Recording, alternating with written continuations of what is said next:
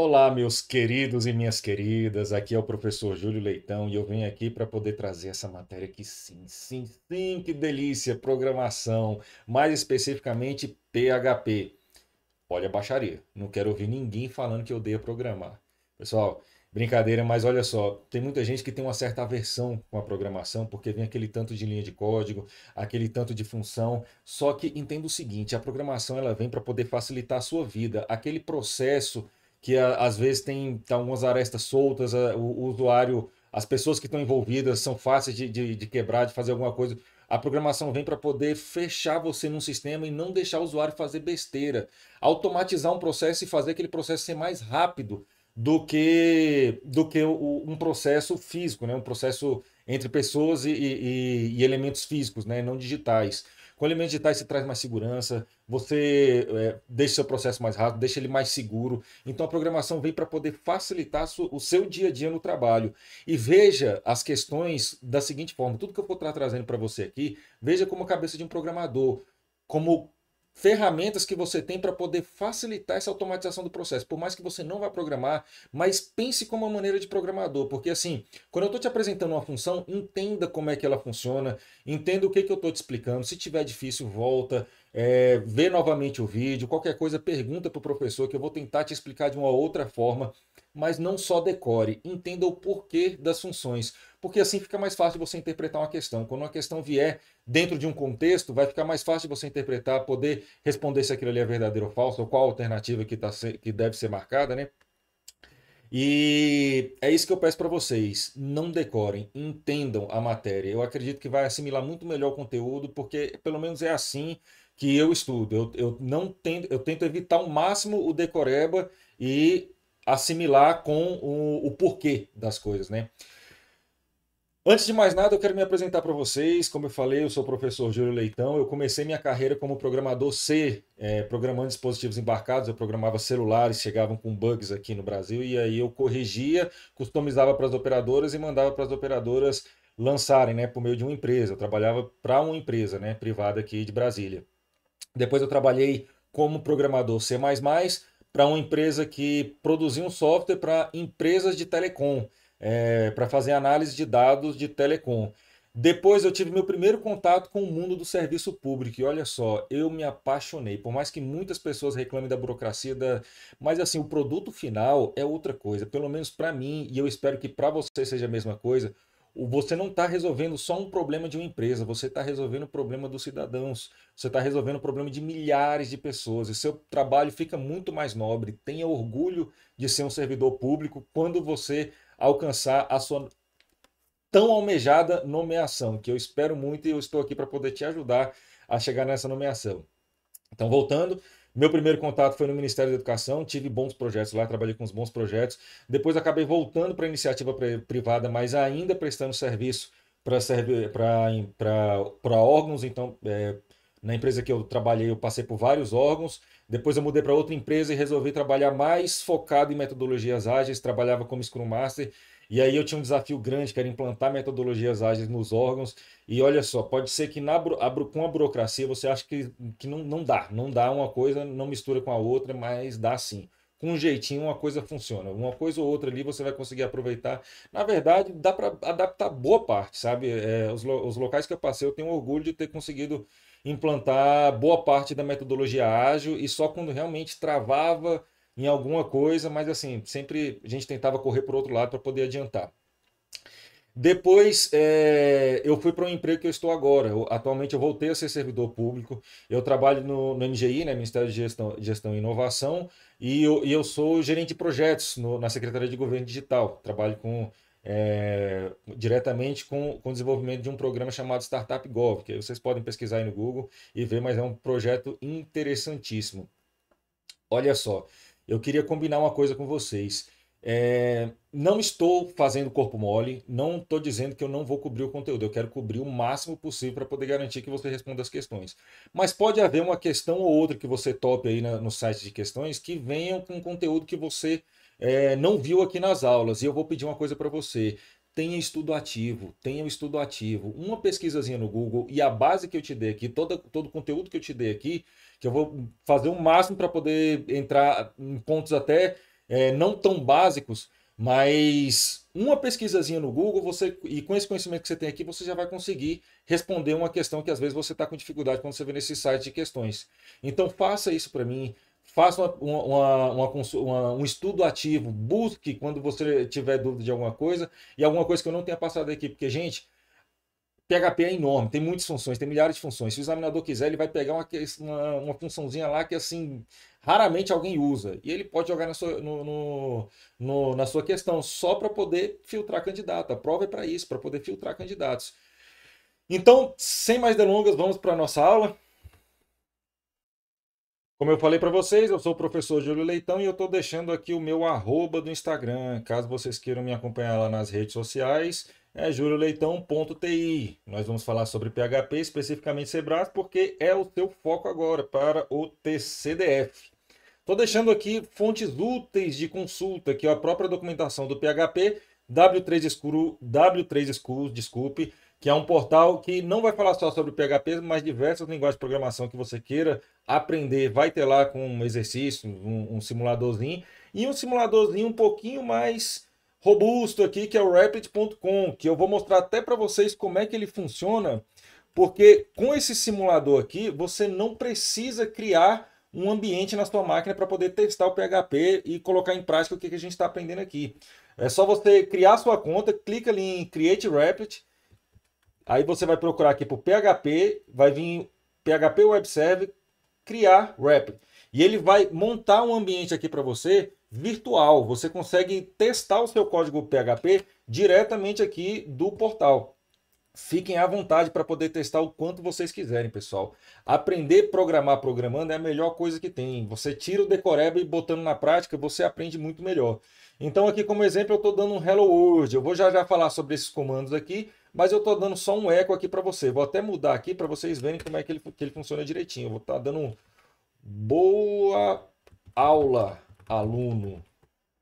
E clicando em executar aqui, ele vai me gerar o resultado. A página PHP que vai aparecer para o cliente, o meu resultado para o meu usuário final, que vai ser só o boa aula, aluno.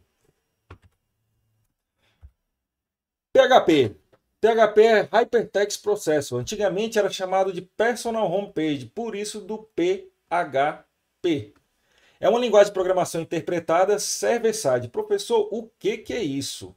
Uma linguagem interpretada não é uma linguagem compilada, não, ela não tem um compilador que vai compilar o código. Um compilador, geralmente, ele vai fazer o quê? Ele vai analisar o código e procurar erros, erro de sintaxe, erro de declaração, diversos erros, e aí ele vai gerar um executável que você vai usar o programa a partir desse executável. Numa linguagem interpretada, ela vai, ela, ela vai trabalhar com scripts, que é o caso do PHP. PHP tem, você escreve scripts PHP e o servidor vai processar esse script e não, e não compilar. Ele vai interpretar esse script já colocando na prática o que, que você digitou. Então, assim, ele não vai ter esse processo de compilação, ele já vai colocar no ato. Então, se você tiver algum erro, ele já vai mostrar na hora de executar aquele arquivo. Você não vai.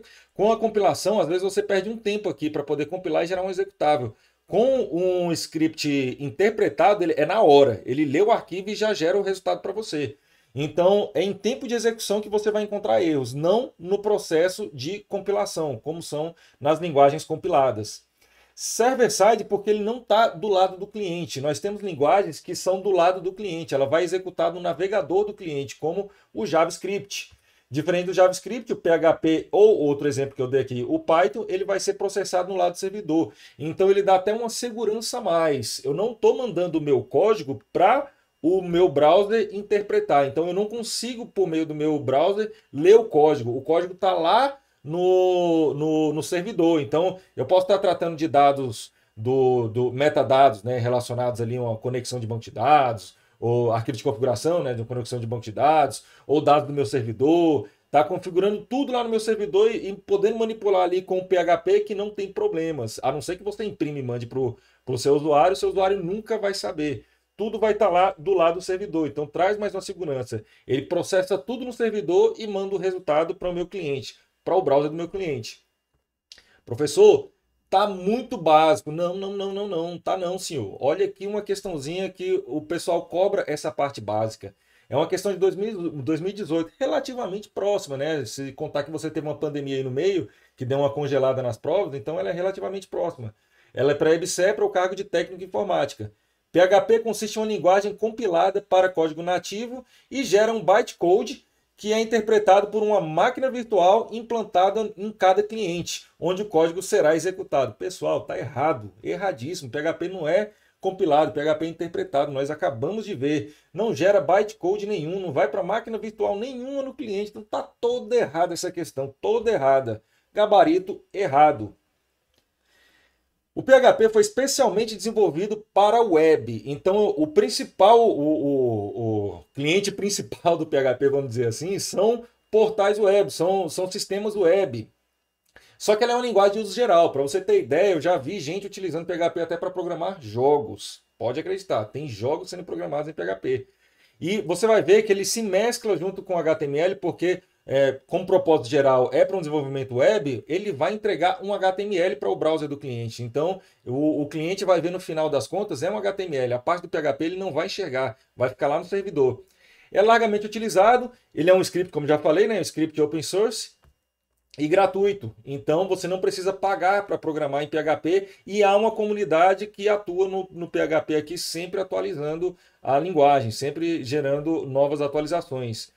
E são páginas, é, ele gera páginas é, dinamicamente, né? Então, antigamente você tinha um HTML puro que era estático, né? Você só tinha o textão lá que era mostrado para para o seu usuário e com o PHP você consegue customizar a página para o cliente, né? Mostrando uma página customizada para a pessoa que está acessando aquele sistema seu. Exemplos clássicos aqui que usam PHP, é, Facebook, Wikipedia, o grande sisteminha aqui que gera blogs, né? Gera é, websites aqui de maneira fácil, né, que é o WordPress, e a nossa queridíssima União, nosso governo federal, tem muitos portais em PHP, muitos sistemas rodando em PHP, importantes sistemas sendo rodados em PHP no serviço público federal. Olha outra questãozinha aqui, também tratando do que a gente acabou de falar, questão básica, questão de, de conceito básico. PHP é uma linguagem de script projetada para ser desenvolvida para o desenvolvimento web, mas que também pode ser usada para programação de uso geral. Nós acabamos de ver literalidade do que eu acabei de te mostrar. Questão certa. Vamos entrar agora na parte da sintaxe em si, agora conhecendo melhor sobre a linguagem. Quando você programa em PHP, você vai gerar um arquivo .php e vai guardar lá no seu servidor. Lá é que vai ser o local que ele vai ler e vai processar esse arquivo e gerar um resultado aqui para o cliente, né? para a pessoa que está usando o seu sistema. Eu vou estar tá sempre dando exemplos aqui, de modo geral, aplicativos web, tá? Então, quando eu estiver falando é, é, de, do que ele está imprimindo, geralmente ele vai estar tá imprimindo, eu vou estar tá te dando um exemplo prático para web, então ele vai estar imprimindo para o cliente final um arquivo HTML, porque esse arquivo aqui vai ser mandado para o browser do usuário e vai mostrar o resultado ali de uma página processada em PHP, né? Esse vai ser o resultado final, uma página HTML. De modo geral, se eu der um exemplo diferente, eu vou estar avisando vocês. Então, para o meu servidor, eu tenho que avisar para o meu servidor qual que é a parte, porque assim, no meu arquivo PHP vai ter partes HTML e vai ter partes PHP. Eu vou te mostrar aqui que você vai estar mesclando os dois para poder gerar um resultado final. Só que eu tenho que avisar meu servidor quando que começa meu PHP e quando que termina, porque aquela parte ali que vai estar sendo processada pelo meu servidor. Então aqui, ó, eu vou dizer para o meu servidor com tags PHP. Eu vou ter lá as tags HTML lá, né, head, title, blá blá blá. E no meio da, do, do, meu arquivo, eu posso, em qualquer lugar do meu arquivo, eu posso colocar uma tag PHP, que vai ser o menor interrogação PHP abrindo e interrogação maior que. E tudo que tiver entre essas duas tags aqui vai ser o meu código PHP. É o que eu estou avisando o meu servidor que ele vai processar o que está entre essas duas tags. Olha um exemplo aqui. Esse arquivo PHP aqui, ele tem toda a estrutura HTML, só que aqui no meio eu tenho o meu código PHP, que eu estou eu estou abrindo a minha tag PHP, fechando minha tag PHP, e ele vai ter aqui comandos aqui dentro. Aqui, por exemplo, eu estou dando o comando echo. O comando echo imprime algo no meu arquivo final. Ele vai imprimir um resultado que vai estar entre uma string. A string vai estar especificada aqui, no caso, por aspas simples ou aspas duplas. E todo o código PHP ele vai ser finalizado com o ponto e vírgula, via de regra, que eu vou te mostrar uma exceção, mas via de regra, todo o código é finalizado com ponto e vírgula. Nesse código aqui, o resultado da minha string, ele vai concatenar no meu, no meu HTML final esse trecho de código aqui, que no fim das contas vai ficar assim, ó. No fim das contas ele vai, o meu usuário final vai receber um HTML puro, um HTML puro aqui, que no fim das contas ele só vai ver a página dizendo aqui o bem-vindo ao portal Gabriel Pacheco, que é o nosso exemplo aqui, né? Veja que eu, eu quando eu vou estar tá imprimindo alguma coisa no meu arquivo, vou estar tá sempre preocupando em estruturar aquilo ali com uma página web. Então eu vou estar tá colocando tags aqui, ó, por exemplo, essa tag aqui para pular a linha. E veja que ele respeitou aqui o, o, meu, o, o meu pulo de linha, né? Com a tag BR ali que pula linha. Outro exemplo de tag de abertura e fechamento são as tags curtas. Se o meu arquivo de configuração lá no meu servidor PHPIN tiver configurado o, o, o arquivo short open tag como ativo, ele, você vai poder utilizar as tags curtas. Então, ao invés de usar aquele menor PHP, blá blá blá, é, menor interrogação PHP e, e, interrogação maior que, você pode utilizar só o menor interrogação e interrogação maior que. E tudo que tiver aqui dentro vai ser o código PHP. Outro exemplo, como eu dei um exemplo aqui atrás para vocês de utilizar o echo né, para poder imprimir no meu arquivo HTML resultado, é, os, a, as short tags aqui também vão ter uma opção para, o, para o eco. Sempre que você quiser só imprimir alguma coisa, você pode abrir uma, uma, uma short tag já colocando o igual aqui em seguida, e tudo que tiver aqui dentro, entre aspas, você vai estar tá, é, dizendo para o código PHP que você está executando um comando echo ali. É como se esse short tag aqui fosse um, um, uma tag PHP completa com um comando echo dentro. Dando um exemplo claro, é, um, um exemplo prático aqui, para vocês, desses dois, dessas duas maneiras de utilizar short tags aqui, é, aqui eu trouxe já um comando diferente, eu estou sempre tra tentando trazer alguma coisa diferente a cada slide para você, tá? É, esse outro comando aqui, ó, o print, ele é igualzinho, o, igualzinho não, ele tem algumas diferençazinhas, mas eu, depois eu vou estar te mostrando, mas o print também é um comando de impressão, que você também vai imprimir no seu resultado final alguma coisa.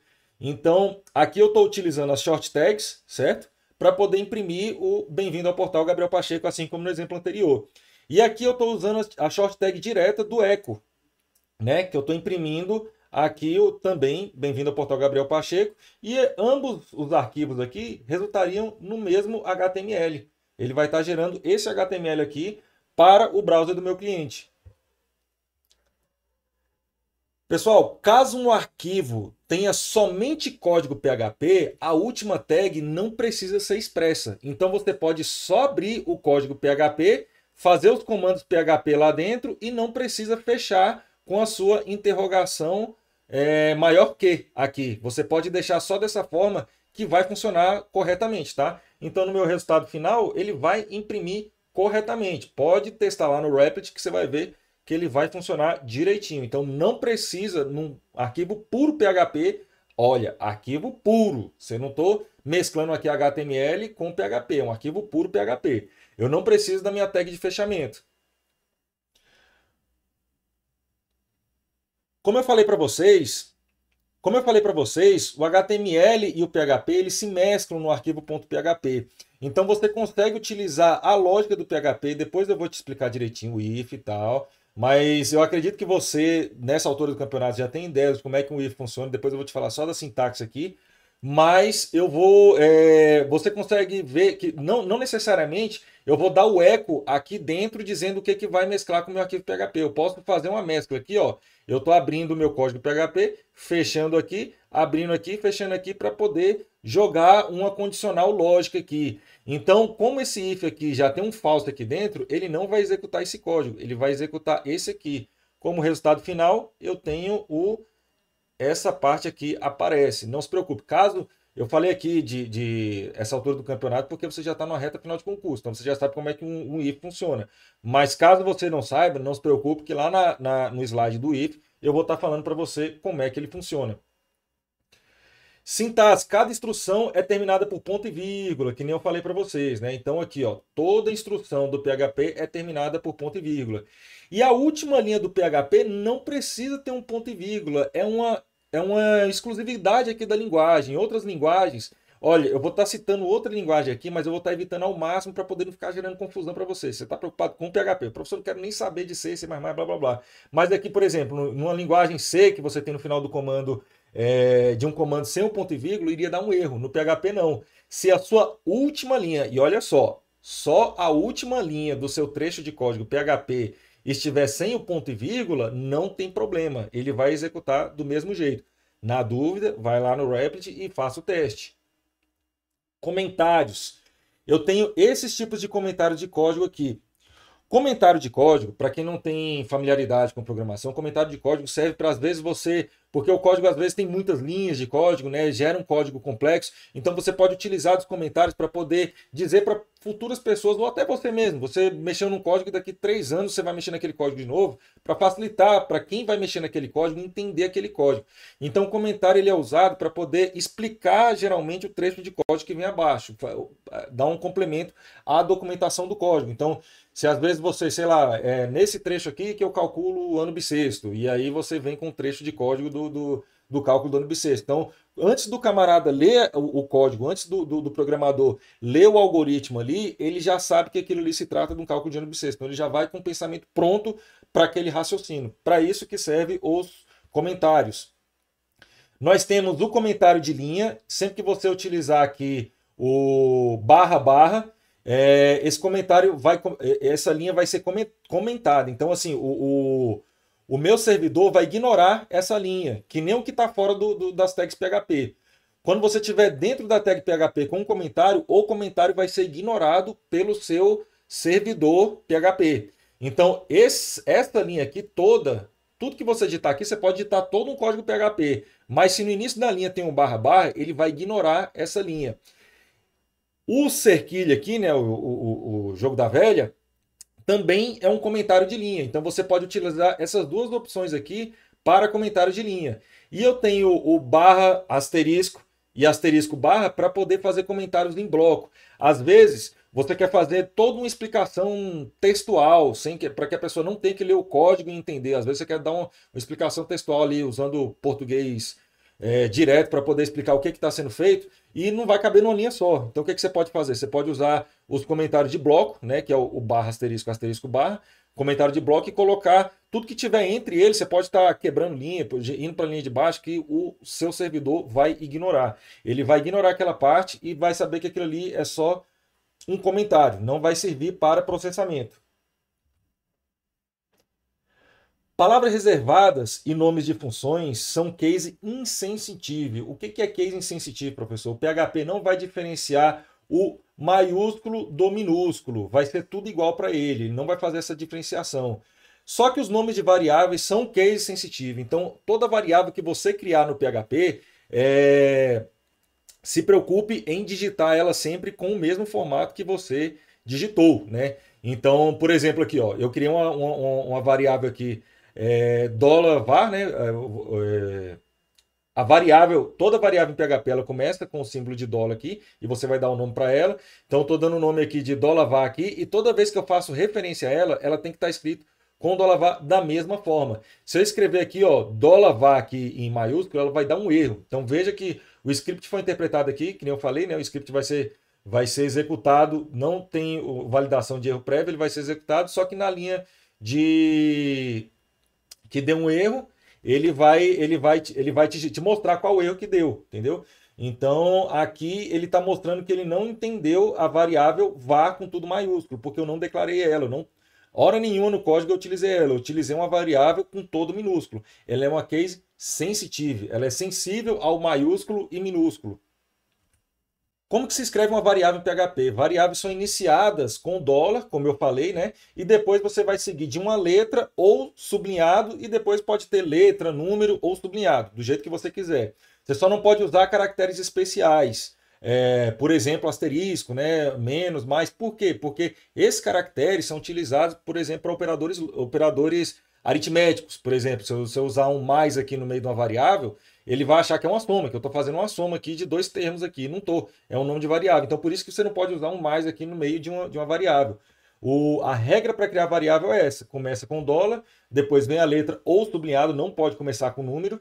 É, e depois você pode usar letras, números ou sublinhados. Então, nós temos algum exemplo, alguns exemplos aqui. Isso aqui é uma declaração válida de, um, de uma variável. Isso aqui também é uma declaração válida. Isso aqui também é uma declaração válida. Por mais que esse A aqui é, em português aqui com treino você não vai utilizar muito, né? Mas ele, ele para outras, outras línguas no mundo, ele é como se fosse uma, um, um caractere normal, tá? Então você consegue utilizar com treino aqui sem problema nenhum. É, agora, aqui você tem uma declaração errada. Você não pode começar uma variável com um número, tá? Aqui está inválido. O meu processador vai gerar um erro nessa linha aqui. Só, só para adiantar para vocês aqui, esse igual aqui é o operador de atribuição. E o válido aqui é a string que eu estou querendo guardar nessa variável. Então, o que, que eu estou dizendo aqui? Eu estou guardando a string válido dentro da variável var underline válida. Tipo de variável. PHP é uma linguagem dinamicamente tipada. Durante a execução do código é que o servidor vai estar tá sabendo qual que é o tipo daquela variável, né? Se ele é um tipo texto, se ele é um tipo inteiro, um tipo booleano ou um ponto flutuante, né? É durante a execução do código que ele vai saber. Você não precisa declarar explicitamente, não precisa, mas você pode declarar. Vou te mostrar daqui a pouco que você pode. Mas você não precisa declarar explicitamente que isso aqui é uma string, que eu vou estar recebendo uma string nessa variável texto. É só eu colocar uma atribuição e a minha string e o meu servidor vai saber que essa variável é do tipo string. É, outro exemplo aqui que eu trouxe para você é uma string com aspas simples. Eu estou te mostrando duas formas de criar uma string, com aspas duplas e com aspas simples. Só de você colocar um inteiro, um número inteiro que não tem fração, ele já vai interpretar que aquela variável é um inteiro. Então você vai estar tá, é, se tratando aqui de uma variável inteiro, né? Só, só você colocar lá a atribuição com um número inteiro. Então essa variável, a variável aqui é do tipo int. Essa variável aqui é do tipo booleano. Para quem não conhece, o booleano é uma variável que só armazena dois valores, true e false, que é o verdadeiro ou falso. Né? Ela, ela é um operador, é uma variável lógica, né? ela só tem essas duas, esses dois formatos. E o float. O float é você vai utilizar no PHP o ponto para poder indicar que é um número fracionado, tá? É, quando é uma fração no PHP, você vai utilizar o ponto, você não vai utilizar a vírgula. Vírgula é para poder separar parâmetros, que é uma coisa que eu vou te falar lá na frente. Mas quando você quer dizer que aquele número é fracionado, você está dizendo que é 8,5 aqui no caso aqui, é, você vai utilizar o ponto. Então, a partir daqui, o, o meu PHP sabe que eu estou tratando de um float e não de um inteiro. O nulo é quando você tem um valor nulo, você consegue comparar o nulo aqui é, com, algum, com, algum, com algumas situações dentro, dentro da sua lógica de programação. Por exemplo, uma string vazia, eu vou, é, quando você vem aqui, ó, coloca, por exemplo, aspas, aspas, é, aqui você poderia interpretar que tem um espaço, mas não, é só, só abrir aspas, fechei aspas. Isso aqui, se você for comparar, ele vai, ele, se você for comparar, ver se essa é, string está vazia ou não, você pode comparar ela com nulo, que ela vai dar ok que ela, é, as duas são iguais, entendeu? Porque você tem, um, é, tem uma maleabilidade em alguns tipos do, do PHP de fazer comparação, embora eles sejam de tipos diferentes. Por exemplo, o inteiro e o booleano. Desculpa, o inteiro e o booleano não. O inteiro e o float. O inteiro e o float aqui. Se eu tiver um 10 aqui e um 10.0 aqui e comparar os dois é, com o operador igual igual, ele vai dar ok, que os dois são o mesmo valor, embora tenham tipos diferentes. A mesma coisa aqui se você dizer, se, se essa string é igual a nula para o PHP, é, ela vai dizer que sim, que ela é igual a nula. Por quê? Porque ela está vazia. Outro exemplo, um array vazio, que eu vou mostrar para vocês o que é um array, é, ou o valor de inteiro zero. O zero também é igual a nulo numa comparação. É, o tipo resource, nós temos o tipo resource que ele vai estar tá lidando com uma referência de um recurso externo ao PHP. Por exemplo, quando você tem o uso de funções especiais ali que vão manipular um banco de dados. Você pode guardar aqui no Resource a conexão com o banco de dados, que é no caso aqui, por exemplo. E aí, a partir daqui, você vai estar manipulando o seu banco de dados, né? É... E o callable? Callable vem de call, né? Que é chamada, chamada. Então, seria um chamável, um, uma variável chamável. Ela vai ser usada quando você quer guardar dentro dela não um valor, mais uma função. Eu vou explicar lá na frente para vocês o que é uma função, mas só de modo geral para adiantar, a função é é, um, é, um, é um trecho de código que você sempre vai precisar dele várias vezes, você cria uma função, e aí só de você chamar o nome daquela função ali, você executa aquele trecho de código. vou te explicar direitinho, mas para quem já sabe o que é função, o callable aqui é, vai poder armazenar uma função dentro dele, ou seja, ele tá ele pode chamar aquilo que pode ser. É, a, a variável vai estar tá guardando aquilo que pode ser invocado. Nesse exemplo que eu dei aqui, eu criei uma função que só vai multiplicar dois valores né, de uma variável. Então, eu estou é, criando uma função aqui e jogando ela para dentro da função. E aí, eu estou criando uma outra variável aqui chamada resultado. E aí, eu chamo aqui minha variável função, passo os parâmetros para ela 4 e 3, que ele vai jogar aqui no, no A e no B, vai multiplicar esses valores e me retornar aqui. Então, o eco aqui dessa, de, dessa variável resultado vai ser o resultado da função que está sendo armazenada aqui por essa variável função.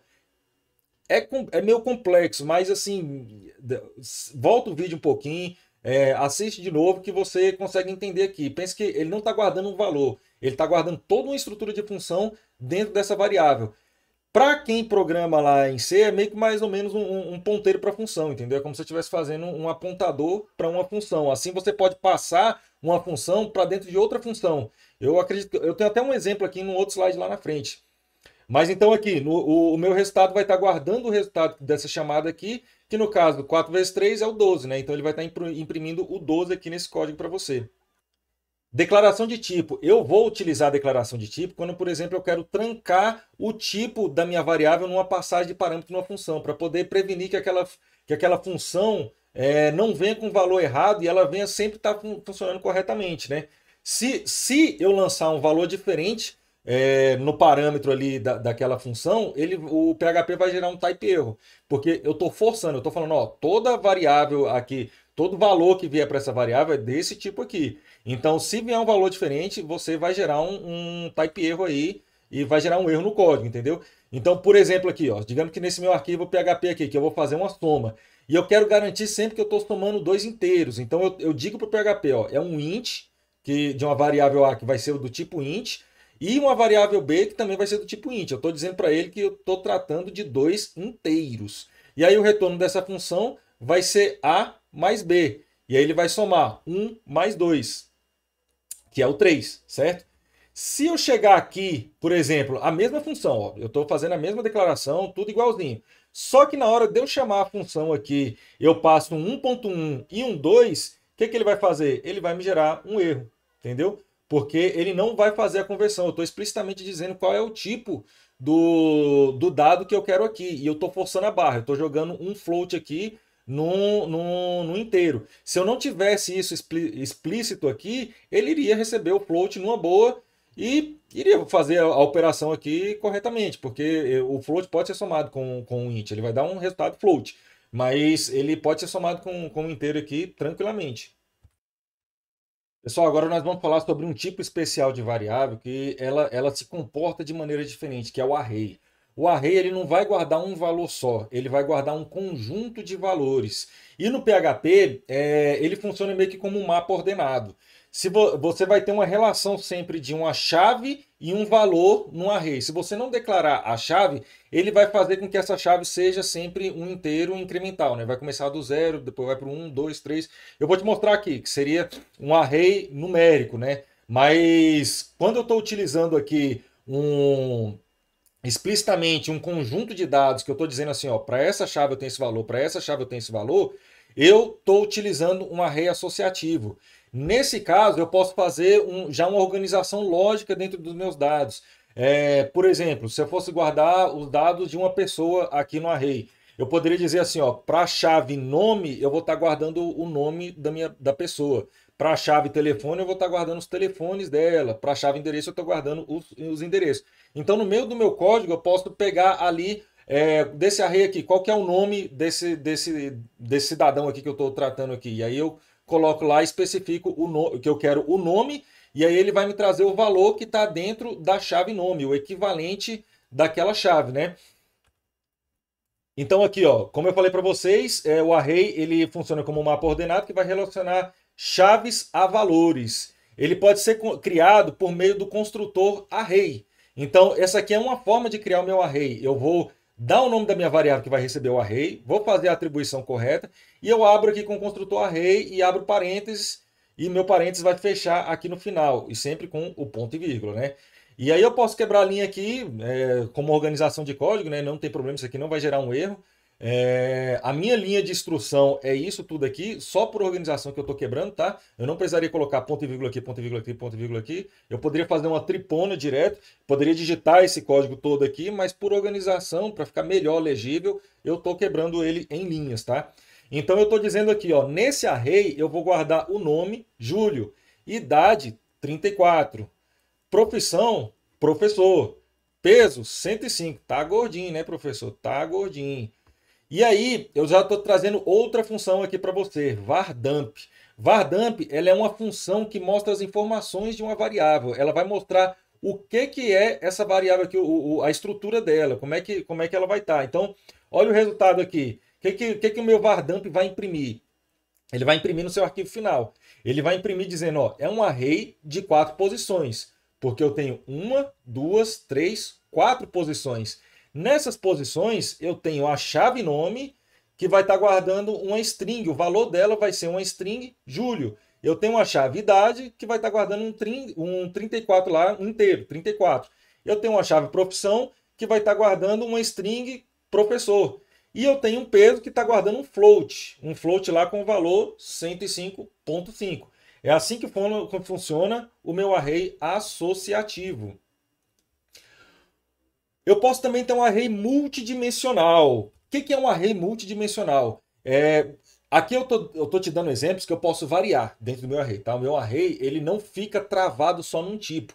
Eu posso guardar dentro do meu array vários tipos dentro dele. Inclusive as chaves eu posso mudar o tipo dela de um para outro. Tá? Eu não preciso ter chave só de string, eu posso ter chave de string, chave de inteiro. Eu vou mostrar aqui para vocês na prática com esse exemplo.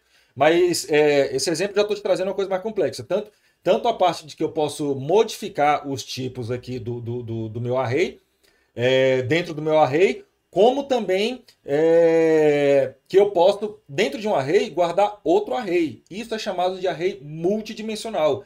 Então, como eu posso variar os tipos dentro da, do meu array, eu também posso dar um tipo array para um elemento lá dentro. Olha aqui, no meu, no meu array multidimensional, como é que ele vai fazer? Como é que eu fiz aqui? Eu dei um nome aqui array, e aí eu vou fazer a declaração. O meu primeiro elemento, eu estou dizendo para ele, ó, a minha, quando você procurar pela chave vigilante, eu vou dizer que vai estar tá falando do Batman. Quando eu colocar, aqui foi só um exemplo, só para você poder ver que, que, que, você pode trocar também o, o tipo do, da chave, que não precisa ser sempre uma string. Quando eu te chamar a chave 102, você vai imprimir o valor 124. Quando eu chamar a chave multi, aí você vai fazer o meu, vai mostrar o meu array multidimensional. No meu array multidimensional, eu vou ter um array aqui dentro. E olha só, o que, que eu tenho nesse array multidimensional? Outro array. Então eu posso brincar com isso aqui quantas vezes eu quiser, entendeu? Então o que, que eu estou dizendo aqui? Nesse último array que eu estou guardando aqui, eu estou guardando somente o nome do meu vigilante aqui, que é o Bruce Wayne que o nome do Batman é o Bruce Wayne, para quem não sabe. É possível, né? Acho que todo mundo sabe. Mas, é, tá vendo que eu posso brincar aqui com meu array multidimensional, jogando quantos arrays em cadeia eu quiser. E aí eu vou dar um exemplo aqui do Vardan. Aqui eu estou dando dois, é, aqui eu já estou te trazendo dois conceitos, tá? É o conceito de como que você acessa os elementos de um array para poder imprimir, tá? Antes eu estava te passando a variável do array completa, para poder imprimir lá no Vardamp, ele vai te mostrar a estrutura toda. Agora eu estou te mostrando como é que você imprime um elemento do array, um valorzinho só lá dentro do array. E aí aqui eu estou dizendo aqui, ó, eu quero descrever só o vigilante. E aí ele vai me dizer aqui, ó, dentro de vigilante eu tenho a string Batman. Então eu estou dizendo para o array, ó, eu quero acessar só esse índice aqui, ó. Eu quero a descrição do, da variável que está guardada aqui no índice vigilante que eu sempre estou guardando o, o, o, índice e o valor, né? O valor é uma variável, acaba sendo uma variável ali dentro, né? Então eu estou dando a descrição aqui do, do meu índice vigilante que ele vai me trazer o Batman string 6.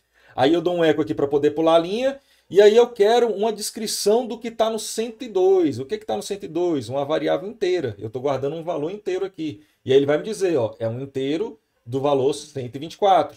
E aí eu imprimo mais uma, uma é, pulo mais uma linha aqui e vou descrever o que que está no meu índice multi. Dentro do meu índice multi, é, do, do, meu, do meu do, da minha chave multi, eu vou acessar a chave dimensional E dentro do dimensional eu quero saber o que está dentro da chave nome. Veja que eu poderia ter aqui é, um, um, um, elemento irmão aqui de dimensional, poderia ser dimensional 2, poderia ser o que, o que fosse, e guardar outra variável aqui. Então, é, assim como eu acesso, a, eu estou acessando em cadeia aqui, para acessar o, o, vigilante, eu acessei direto no array aqui esse índice. Agora, para eu acessar lá o nome, eu estou dizendo, ó, acessa o, a chave é, multi. Acessou a chave multi, agora dentro de multi, acesse a chave dimensional. Agora, dentro de dimensional, acesse a chave nome. O que, que eu tenho aí dentro? E aí ele vai me dizer uma string Bruce Wayne, de tamanho 11. É assim que eu acesso os meus arrays multidimensionais. O array numérico é só você criar o array sem dar a valoração de chave e valor. Se você sair tacando um elemento ali dentro do array separado por vírgula, ele vai criar um array ali para você e ele já vai atribuir às chaves um valor numérico, tá? Começando de zero. Sempre começando de zero. Seu primeiro índice vai ser zero, depois vai ser um, vai ser dois, três, quatro e aí por diante, de acordo com os elementos que você estiver colocando. Outra maneira que eu tenho de criar um array é com os colchetes. Eu estou iniciando esse array aqui utilizando colchetes, separando por vírgula igual ao outro. Então aqui, como é que vai estar estruturado esse arquivo aqui? Desculpa, esse arquivo não, esse array. Ele vai estar estruturado da seguinte forma, com os elementos Wolverine, Batman, Justiceiro, Motoqueiro, Fantasma aqui, que vão ser as lendas dos gibis, né? É, da DC e da Marvel. Estou guardando esses nomes aqui. E aí, quais os índices que ele, que ele... Quais as chaves desses valores aqui. Aqui vai ser o 0, aqui vai ser 1, um, aqui vai ser 2, aqui vai ser 3. Automaticamente a linguagem vai fazer isso para mim. E aí se eu der um var dump aqui, ó, veja como é que ele imprime. Ele vai dizer, no índice 0 eu tenho Wolverine, no índice 1 um, eu tenho Batman, no 2 eu tenho Justiceiro, no 3 Motoqueiro Fantasma. E aí, acessando a minha variável, do, da mesma forma que, que que eu acesso a minha variável lá para imprimir, eu também acesso para poder manipular ela. Eu posso colocar valor, tirar valor de dentro dela, da mesma forma, acessando o índice daquela da minha variável, que é a chave, né? A chave que eu quero acessar. Então, aqui no exemplo, eu quero que você pegue o meu array lendas e acesse a chave 3, o meu índice 3, e coloque lá dentro, atribua a ele o Venom. Você vai pegar 0, 1, 2, 3. Então o motoqueiro fantasma some e vai entrar o Venom. E aí eu estou pedindo para imprimir novamente o meu array. E olha o meu resultado aqui. O 0 continua o Wolverine, o 1 continua o Batman, o 2 continua o Justiceiro, só que no 3, que foi o que eu modifiquei, vai estar tá o Venom, não mais o motoqueiro fantasma. Pessoal, a aula está ficando muito longa. É, eu vou encerrar por aqui e na próxima aula eu continuo falando com vocês, encerrar o conteúdo de array e aí a gente continua com o conteúdo aí. Até a próxima.